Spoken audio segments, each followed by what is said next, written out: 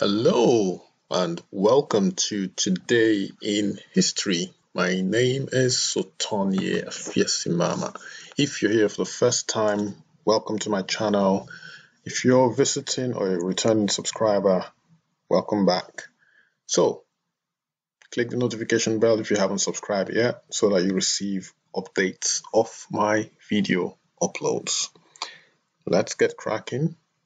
This time we're going to move go back 503 years to the past and we shall roll back our blind. The year is 1517 and his name is Martin Luther. So this isn't Martin Luther King, this is the original Martin Luther. 1517 is the year and as you can see here, it's self-explanatory. Martin Luther wrote a list of arguments against the church, against church practices, called the 95 Theses.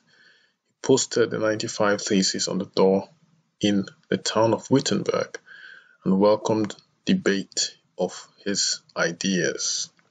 So the picture again is self-explanatory. This was the day in 1517 that Martin Luther a monk nailed the 95 Theses on the doors of a church.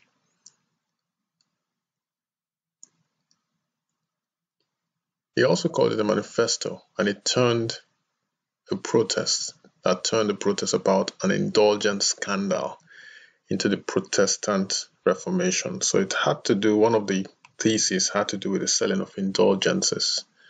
Um, so go, you can go do a bit of research about what that is, um, that was all about.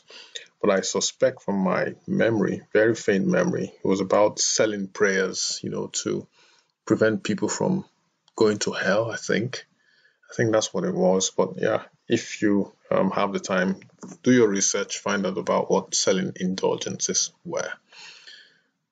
Let's move on to the year 1860. So on this day, Juliette Gordon Law, or Low, pictured here, she was the lady who founded the Girl Scouts of the United States of America. On this day, she was born in Savannah, Georgia.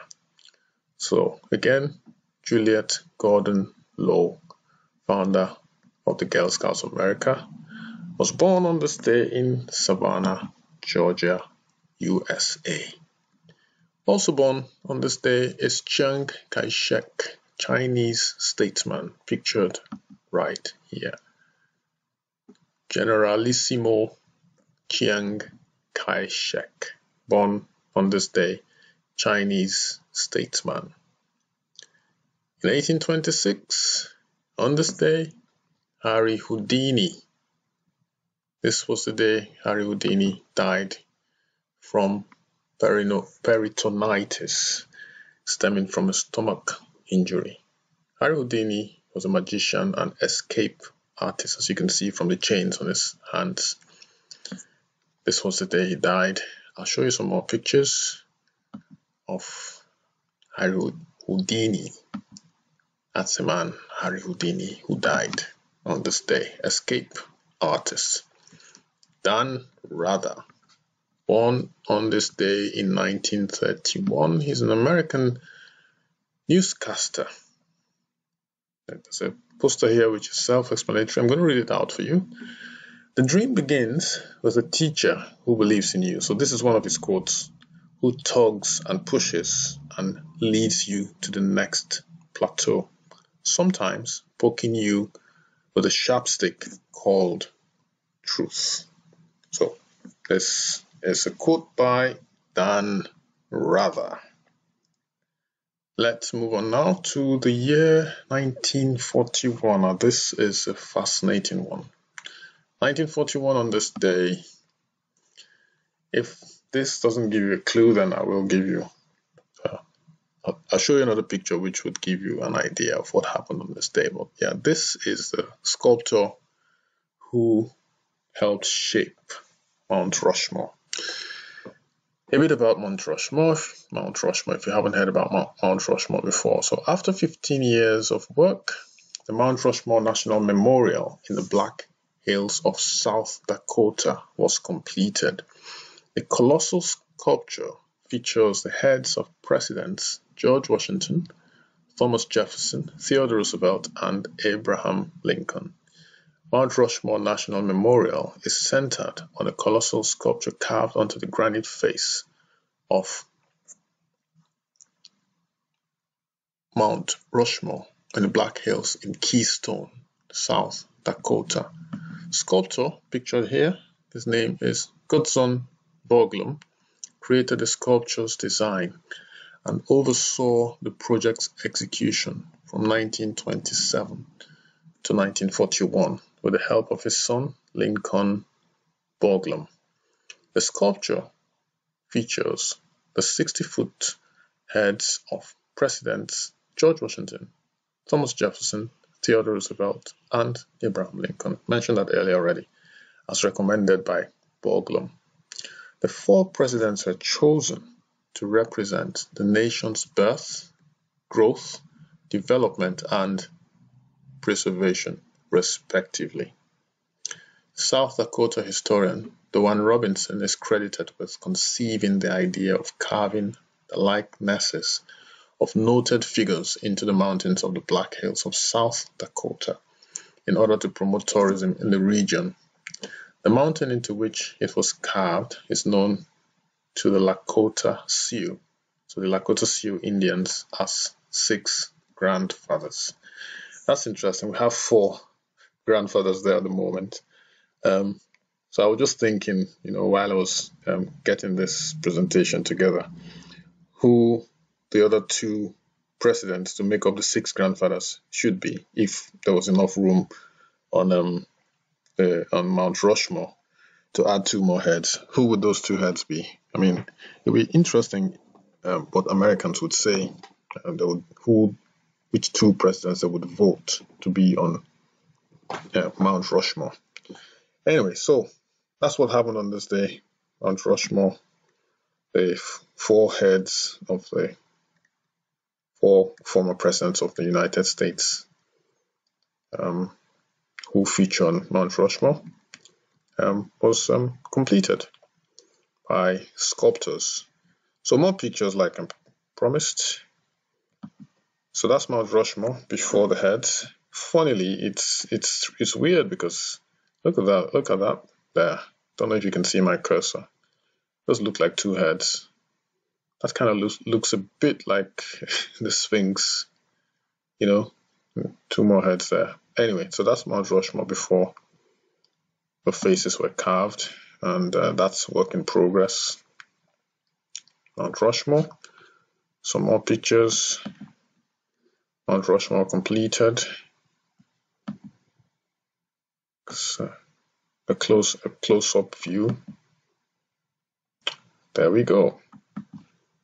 Let's move on to the year 1984. It was shock, sadness for the world, especially for India, as Indira Gandhi was assassinated on this day in 1984.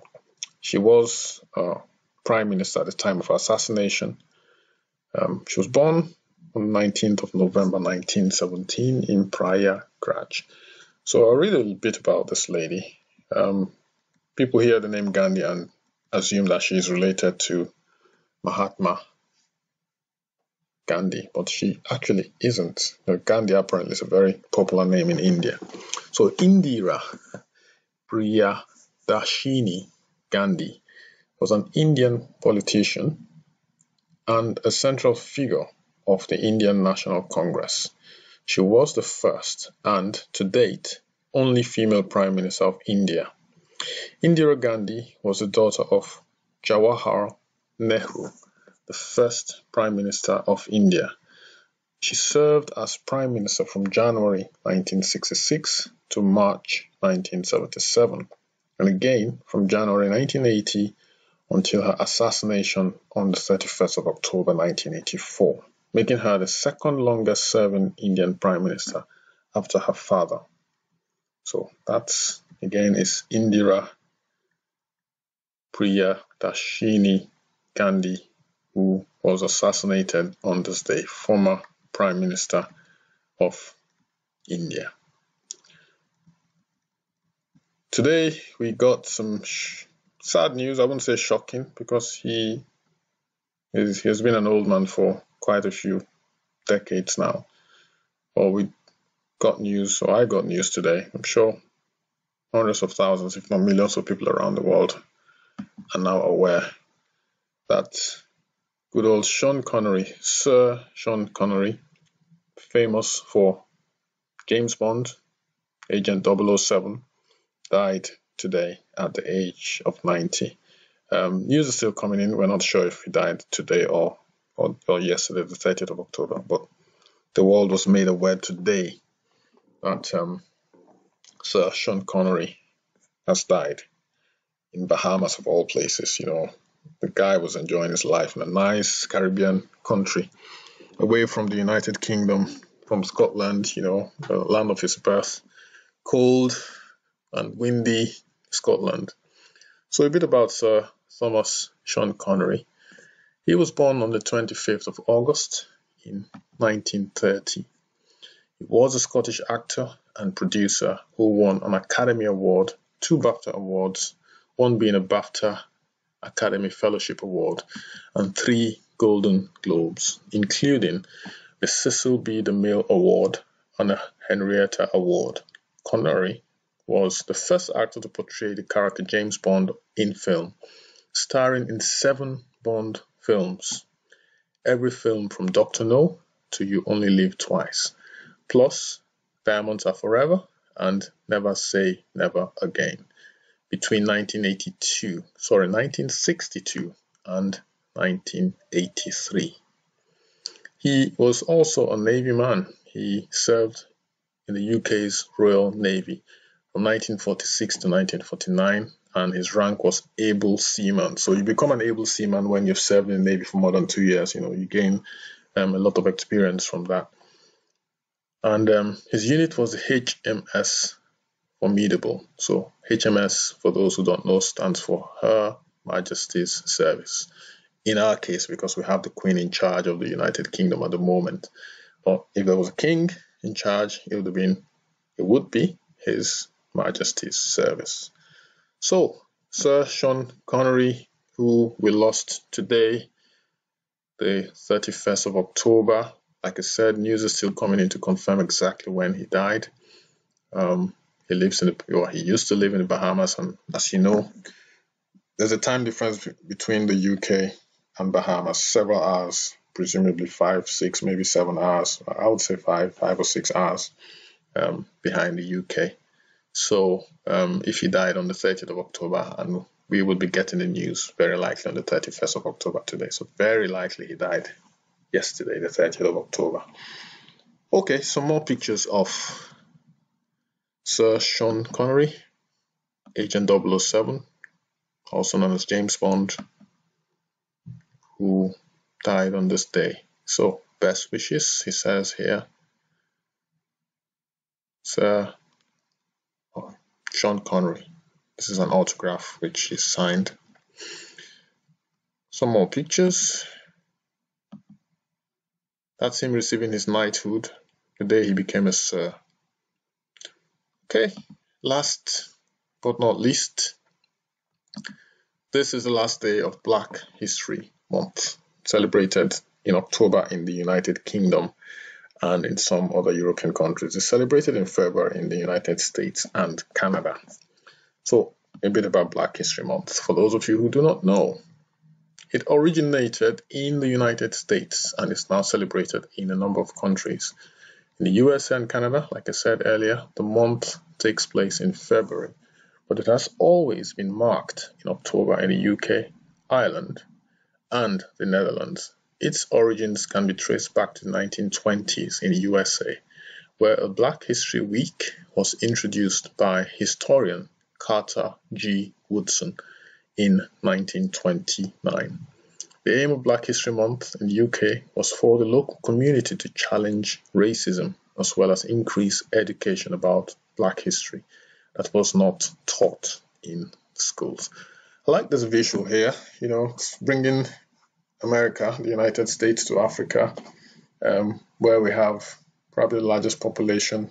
Uh, well, Black History Month started in America anyway, so maybe not the largest population of African American peoples, but very close.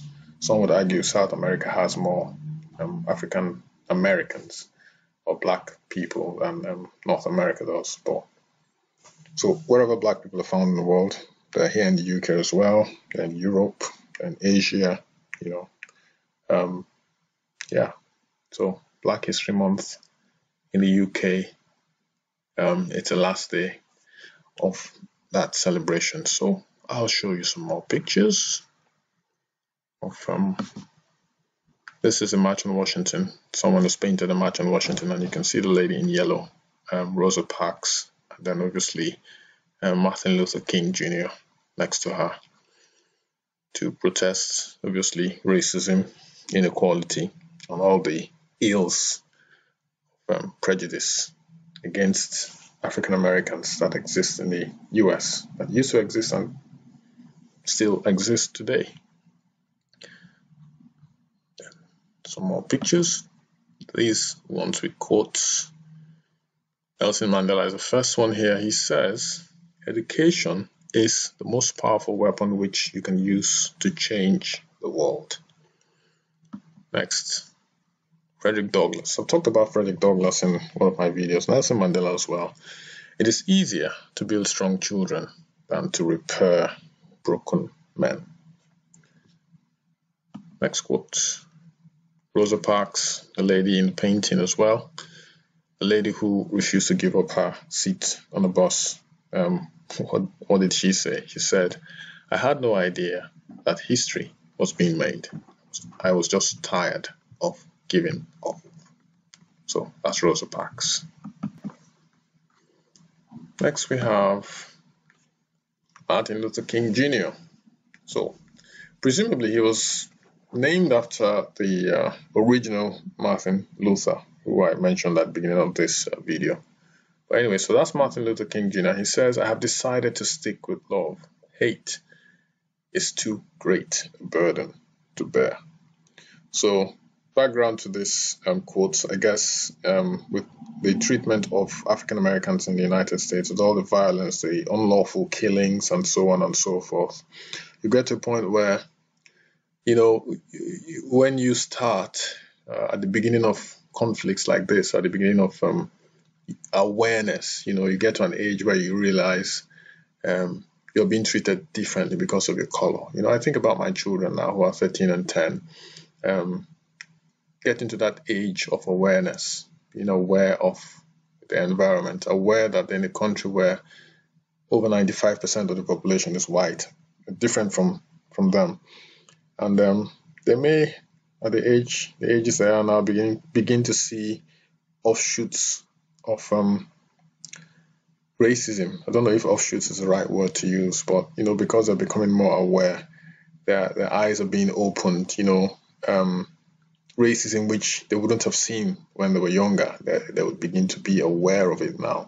They're reading more, they're watching TV more, they're listen, they're more aware of the environment essentially. So um, you get to a point when you know you're being racially profiled. Uh, let's let's use that phrase now. Racially profiled. You know, you're being treated badly or poorly because of your color, the skin color of your skin, and initially you're going to react angrily. Most people will react angrily. When you get to a point and say, "What?"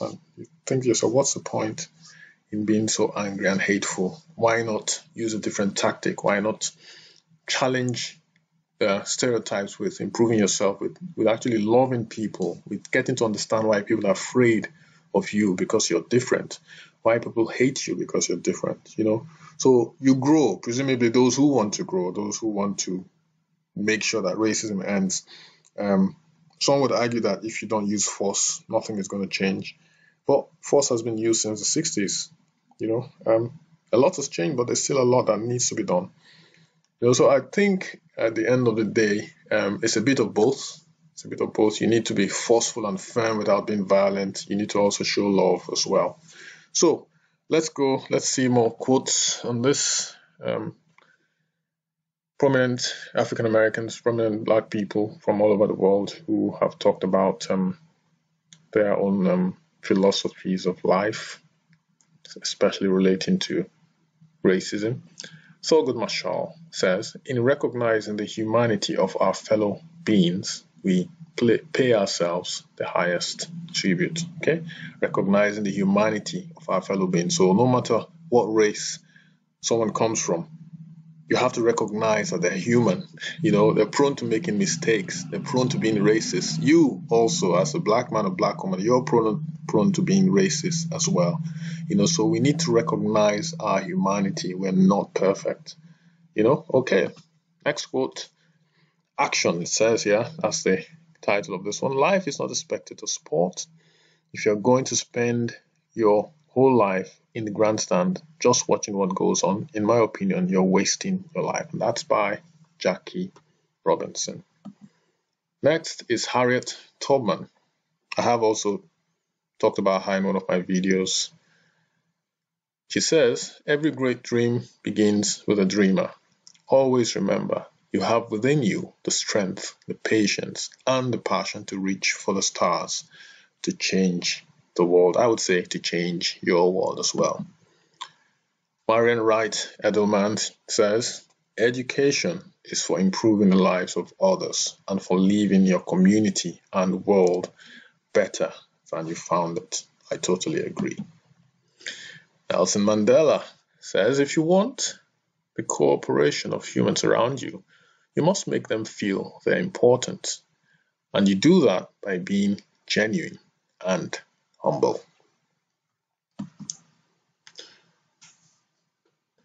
This is another quote from Dr. Martin Luther King Jr. He says, The ultimate measure of a man is not where he stands in moments of comfort and convenience, but where he stands at times of challenge and controversy.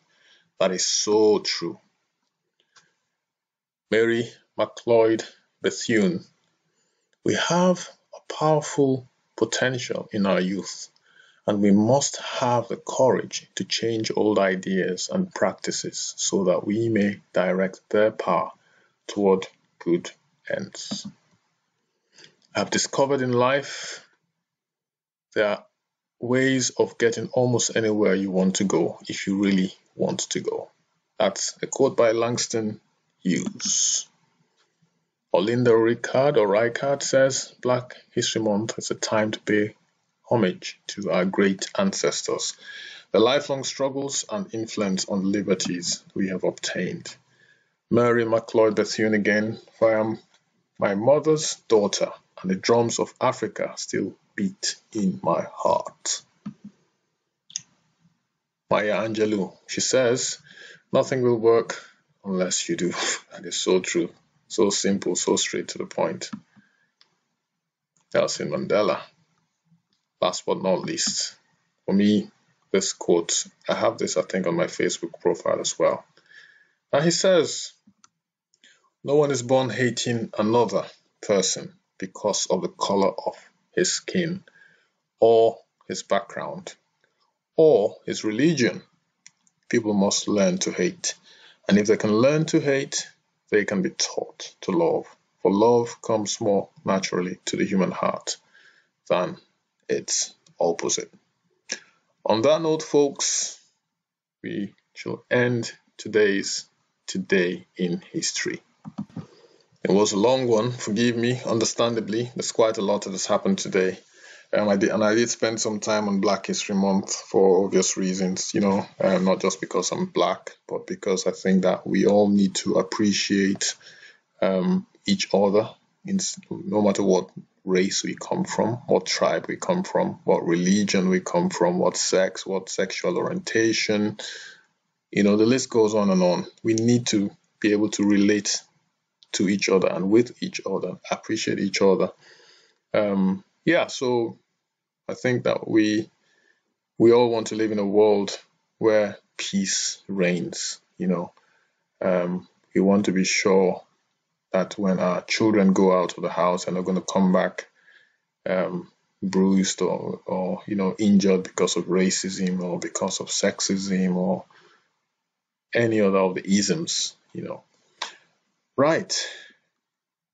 On that note, folks, we have come to another to the end of another edition of Today in History for the 31st of October, the very last day in October 2020. Hopefully, I shall catch you guys tomorrow, brand new month of November, for another edition of Today in History. My name again is Sotonye Mama. Do not forget to subscribe. You can do that by clicking the notification bell so that you receive updates of my video uploads. Once again, thanks again for dropping by. See you tomorrow. Stay safe. Like this video if you like it and share this with your family and friends. Who knows? They might like it as well. Take care. See you tomorrow. Bye bye.